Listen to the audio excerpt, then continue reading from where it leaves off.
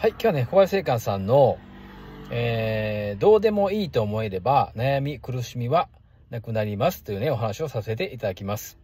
えー、聖寛さんはね、えー、全てのことは運命で、えー、決まっているとね、えー、悟っておられました。なので、どういうね、えー、運命をたどっても、どうでもいいというね、解釈を常にされていました。例えばね、えー、セカさんは晩年、えー、人工透析をね、えー、2日に1度やられていたんですが、えー、ながらえ、生きながらえたい、たいのかといえばね、そういうことはなかったですね。どうでもいいと思っておられました。じゃあね、早く死にたかったのかというとね、それも違って、それもどうでもいいと思っておられました。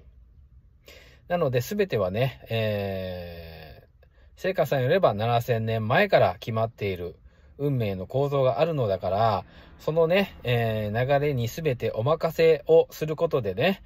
えー、解釈をしているので、すべてどうでもいいというね、気持ちがあるので、えー、悩み、苦しみがゼロだったようです。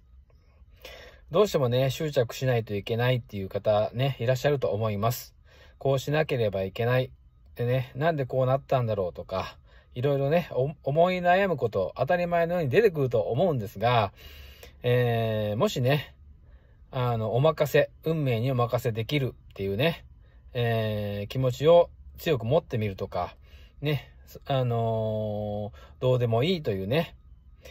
すべてをね、あのー、任せてみるっていうね、気持ちを少し持っていただけたら、もしかしたら悩みとかね、苦しみっていうのは